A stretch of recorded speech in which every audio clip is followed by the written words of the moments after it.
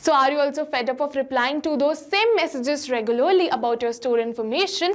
Then this video is definitely for you. So hello all, welcome back to Pabbly Chatflow and in this video we are going to understand how to create a store info bot which will share your business hours and address. So over here I'm running a cafe and I regularly receive multiple messages asking me for my cafe's address, location and also the opening hours. And this is such a tedious task to reply to them every day. So to solve this problem, I've simply created a WhatsApp chatbot using Pabbly Chatflow, which will respond to all of these messages without any manual efforts. So do you also want to see the proper working of this chatbot and know how to create this chatbot for your business? Then for that, you have to come with me towards my screen. So as you know, today we learn how to create a chatbot that automatically responds to customer inquiries, collect important details and provide store information like business hours, location and contact details. So a chatbot is essential for businesses as it saves time and enhances the customer experience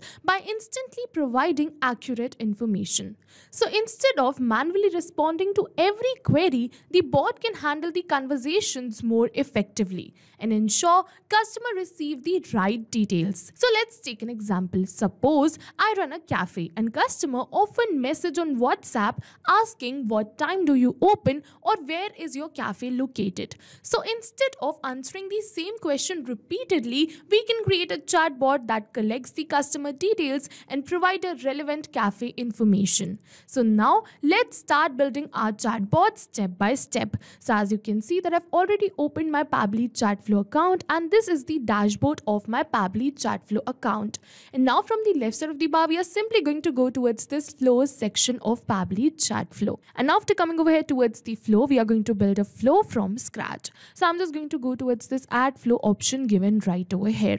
And as soon as we're going to click on the add flow option, this is the window which will appear in front of us.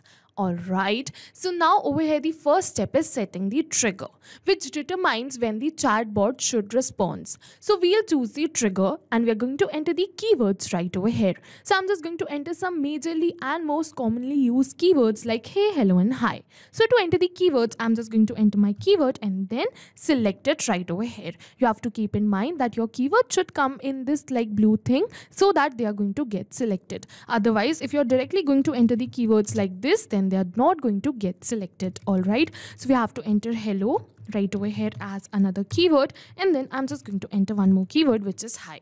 So these are the three most majorly and most commonly used keywords alright. So I've entered it right over here. So I've added the keywords so that the chatbot gets activated when a user message contains their specific words. So over here instead of entering many keywords and entering every possible variation I'm just going to use regex instead of this keywords. So whenever a user sends message with words, the chatbot will detect it and trigger the response. Let's say that one person might type and say, What are your store hours? While the another might type and say, When do you open? The another might type and say, What is your store's location? So instead of manually entering all the possible variation, we use regex. So regex means regular expressions. Alright, so to enter regex right over here, we have to use a specific pattern. And if you want to learn more about that pattern, I'm just going to attach a document link for that in the description box below.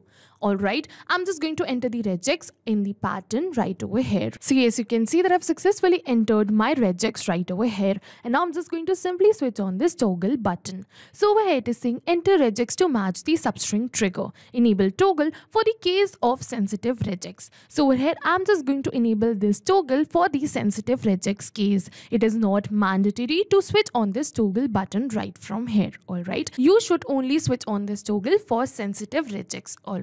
So as you can see that with this we have successfully completed our trigger step. And now whenever I'm just going to get a message with these words containing in them automatically this flow will get started. So here I'm just going to show you the regex which I've entered which is ours. You can see I've entered another which is timings, open, closed, location, address and contact. So yes, now we are just going to move on forward. Over here, first I want to ask my customer about their name. Alright, so to ask them about their name, I'm just going to go towards this actions from the left side of the bar. And over here, you can see there's the option of ask question. So I'm just going to drag and drop it right over here and connect it with this flow start like this. So now after connecting this, we're going to move on forward. And over here in the question, we are just going to enter the message. So yes, you can see that this is the message I have entered. Now we're going to move on forward. Over here, I'm just going to select the contact custom field. So over here in the contact custom field, I'm just going to select it as full name. And if you want to learn more about this contact custom field and how to create this, you can go towards the left side of the bar towards the settings. And over here, you're going to get the option of contact custom fields. I'm just going to open this in a new tab. And right from here, you can create multiple contact custom fields like I have did. You would just have to go towards this add more field button and create your own. As you can see that I've already created it. So I'm just going to select the same, which is full name. And now for the format, I'm just going to select it as text because the name will come in text format only. We are going to move on forward. It is asking me for the number of attempts. So I'm just going to keep it as one only. If you wish, you can definitely enter more number of attempts right over here. And now it is asking me for the validation message. So no, I don't want to give any. So I'm just going to leave it as blank. If you wish, you can definitely enter validation message too right over here. Alright, so now we're going to move on forward. Now after asking the name, I'm just going to ask for the email address of my potential customer. For that, I'm just going to add another ask question button right over here. And we're just simply going to connect these both right over here. Once again, I'm just going to enter the message to ask for the Gmail. So yes, you can see that I've successfully entered this message. Now we're going to move on forward. Once again, I'm just going to select the contact custom field as email this time. And now for the format also, I'm just going to select it as email. I'm just going to give the number of attempts, which is one. All right. So now after asking my customer or my potential customer for their name and then email, we are going to move on forward. All right. So I'm just going to add another action step. For that, I'm just going to start a connection right from here. And we're just going to choose the content type as text plus button. And we are going to connect it with this email question thing. And now it is asking me to enter the message. So i'm just going to enter the message right over here which is great. How can i help you today? So yes you can see that i've successfully added this message which is great. How can i help you today? Please select an option from below. And over here i'm just going to add options so that my potential customer can select one from that. All right so for adding the options i'm just going to go towards this add button and we are going to add the buttons right over here. I'm just going to add three options right over here. First is business hours second is store address and the third is contact details. So i'm just going to add all of these one by one. First i'm just going to add business hours right over here. And after adding this we're going to move on forward towards the another. I'm just going to add another button over here. I'm just going to enter store address. We're going to add another which is contact details. I'm just going to click on this add button. So yes you can see that i've successfully added all of these three options all right so now i've given three options to my customer which is business hours store address and then the contact details. Alright, so now after giving them these three options, we are going to move on forward and one by one we are going to add message which is what will happen if they select business hours, what will happen if they select store address and what will happen if they select contact details. So I'm just going to add a message in front of all of these three one by one. First, I'm just going to add the business hours. So I'm just going to drag and drop the connection, choose the content type as text plus button right over here. Once again, I'm just going to enter the message which is the business hours of my cafe. So yes, you can see that I've successfully entered the message right over here. You can see business hours. I've entered the business hours and over here I've further asked a question that you also like to know our store address. Once again, I'm just going to add two buttons right over here for yes or no. Alright, so I'm just going to enter the text right over here for yes and no. So as you can see that I've successfully entered yes, show address and now I'm just going to add for the no. For that, I'm just going to click on this add button and then enter the text. Alright, so now after entering both of this, we are going to move on further towards the another option which was the store address. All right so i'm just going to connect this once again choose the content type as text plus button right over here once again. All right i'm just going to enter the message right over here. So i want the message to be this which says store address. Over here you can see the store address. We're going to move on forward. It is saying would you like a google maps link for easy navigation? Once again i'm just going to add a button right over here and enter get directions right over here. All right so once again i've successfully added this button and now we're going to move on forward towards the another option which is contact details. All right so i'm just going to drag and drop it. Select select the content type as text plus button. Once again, I'm just going to enter the message right over here. So yes, you can see that I've successfully entered the message, which is contact details. I've entered the phone number, the email, and also the conclusion message. That is, we look forward to see you at the Sunrise Cafe.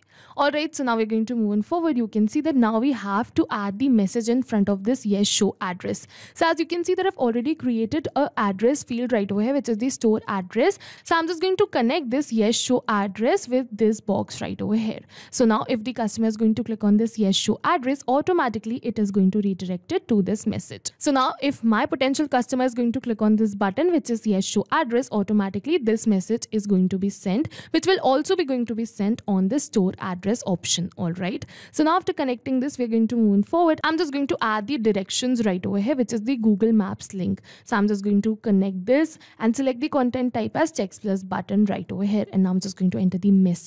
And yes, over here, you can see that we have successfully entered the message. You can see that this is the concluding message and also the Google Maps link. So yes, with this, we have successfully created this flow where what will happen is first we're going to ask for the customer name and email. Then we're going to give them three options, which is business hours, store address and contact details. All right. And then further, we are going to send the message based on their options. So now we're going to test the running of this flow. For that, I'm just going to save this flow. But before saving this flow, I'm just going to name this flow as right over here store information bot. So I'm just going to enter store info bot right over here. And then we are simply going to save this flow. All right. So I'm just going to click on this blue button which says save. And as you can see, flow updated successfully. We have successfully saved this flow. You have to keep in mind that you have to save this flow first. All right. And also you have to keep in mind that this flow is activated right from here. You have to keep in mind that this is switched on. So as you can see that I've successfully created this flow and now I'm just going to test this flow once. For that, I'm just going to open my WhatsApp and let's say that I'm just going to message this cafe, hey, when do you open? All right, so I'm just going to enter, hey, when do you open? So as you can see that I've typed the message and I'm just going to send it the message. So as you can see, it is saying, hello, welcome to Sunrise Cafe. Before we continue, can I have your name to assist you better? All right, so I'm just going to give them my name, let's see, which is test user. So I'm just going to enter the name and send them. All right, now it is asking, thanks. Now please share email so that we can send you updates and offers. So I'm just going to enter my email right over here, which is test at the rate pablitudes.com. So I'm just going to enter my email right over here and then you're simply going to send this email address to. All right, now after sending this email address, it is saying great. Now, how can I help you today? Please select an option from below. Let's say that I want to know about the business hours. So I'm just going to select business hours right over here. It is saying business hours is Monday to Friday this and Saturday to Sunday this. Would you like to know the store address? So yes, I'm just going to see this. I'm just going to click on this yes show address. And yes, you can see that over here is the store address. All right, so now I'm just going to get the directions too. For that, I'm just going to click on this button, which is get directions. So as you can see that we have received this message which is we are looking forward to see you at the Sunrise Cafe. Find us here. So over here is the link too, with the help of which I can get the direction. Let's say that instead of selecting business hours, this potential customer selected store address directly. So directly it is going to give the store address which is this. And further once again it is asking would you like a Google Maps link for easy navigation. So after clicking on this get directions automatically it is going to give me the conclusion message and the direction. Let's say that someone selects this contact details. So I'm just going to select this contact details and yes over here it is providing me with the contact details too which is the phone and the email. Alright with the conclusion message too. So as you can see that with this we have successfully created this flow and we've also tested this flow and it is running perfectly fine. So now whenever my customer or my potential customer is going to ask me for any of this which is hours, timings, basically about the address, location or the timings of my cafe, automatically this flow is going to run and reply to that message. So yes, with this we have successfully created a chat bot to provide our potential customers of our store information. Over here, I'm just going to show you another feature of Pabbly too. So I'm just going to go towards this inbox from the left side of the bar and I'm just going to open this in a new tab. And yes, right over here, you can see all the conversation which happened between the potential customer and the bot. You can track it right from here from the inbox section of your Pabbly Chatflow account. Not only this, you can see that the customer provided with their name and the email address. So from the right side of the bar, you can see contact custom fields. We are going to go towards this and over here you can see that the email and the full name has been added right over here automatically without any manual efforts. Just my customer shared it and it is added right over here automatically. So with this bot, not only sending and receiving of WhatsApp messages, but you can also collect the customer information like I did.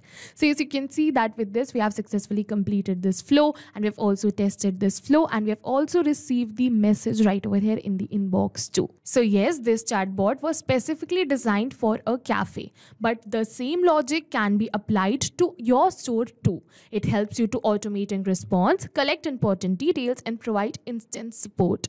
And that's it. With this, we have successfully created a chatbot that replies to messages, collect customer details and give them our store information. So go try it out yourself and see how easy it is to automate conversations with Pabbly Chatflow. And if you found this tutorial helpful, stay tuned for more automation tips. See you in the next video.